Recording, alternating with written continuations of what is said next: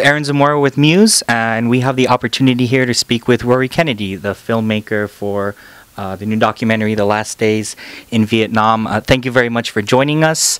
Uh, so, first question for many people who maybe are not very familiar with the end of the Vietnam War what's the focus of this documentary specifically and sort of some of the context? Well, this is uh, an extraordinarily dramatic moment in our nation's history, and of course, uh, for the Vietnamese, first and foremost. And it's um, remarkably a story that really hasn't been shared in, in any kind of uh, wide fashion. So, um, to me, the Vietnam War has always been a seminal moment in our nation's history, and uh, what happened during those final hours is, I think, um, can provide some insight into the current events. We're, you know, as, as you know, in the process of leaving Afghanistan and Iraq, and a lot of the um, challenges that we faced as we left Vietnam, I think, echo in today's policies. So I think not only does it provide insight into what happened 40 years ago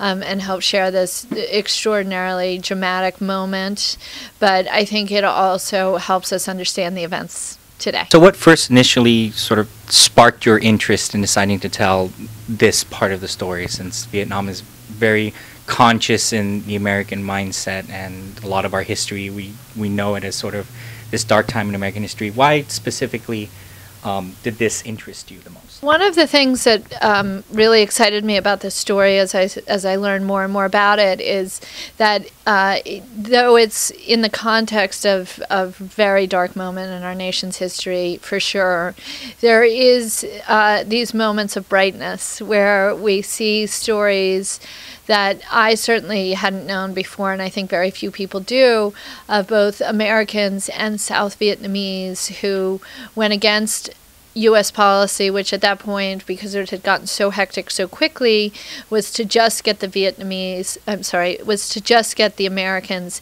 out of Vietnam. There were about 6,000 Americans in, in Vietnam at that time and so our policy was to get them out. But there were people on the ground who said not so fast, and they did what they could to save the South Vietnamese. And that's a story that I think actually really provides a source of inspiration and um, and just you know, a, a, kind of there's a wow factor in watching the film in terms of uh, really appreciating what these Americans and South Vietnamese did, and um, for a moment that I think is is is such a dark moment in our history, there it does provide some some brightness. Stands out is uh, the story of a Chinook helicopter that was. Um, what had happened was the the uh, fleet the U.S. fleet was out in the South China Sea.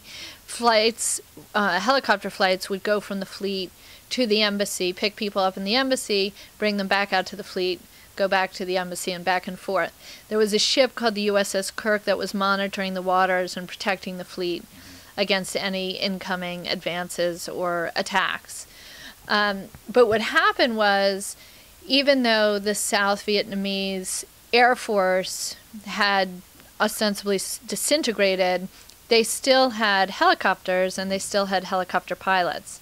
And so a bunch of pilots got into their smaller Huey helicopters and filled them with their families and started chasing the American helicopters out to sea, not knowing where they were going, not knowing where they would land, but feeling that it was better than staying behind which says so much about that moment. I mean, the act of can you imagine getting in a helicopter heading out to sea with your kids and not knowing if there was a place to land? You know, even though the film focuses on these really wonderful stories of heroism, both by the South Vietnamese and Americans, it's in the wider context, and I don't think it shies away from from what you know the the ugliness of war is, and particularly of losing a war, where there's so much loss, so many people who we abandoned, so many people who were relying on us, and we left them at their moment of need. You know this this moment of desperation of these mm-hmm. people climbing up the ladders to try to get on these small helicopters. You know, that's not a moment to be proud of, and it's not a place that we want to want to be. And, you know, so I think that a reminder of the human cost of war. I think it's also a reminder to of our responsibilities to the people on the ground who have worked with us. Well, thank you very much for joining us. If you'd like more information on where you can watch uh, the new film, uh, Last Days in Vietnam, uh, please check out the website,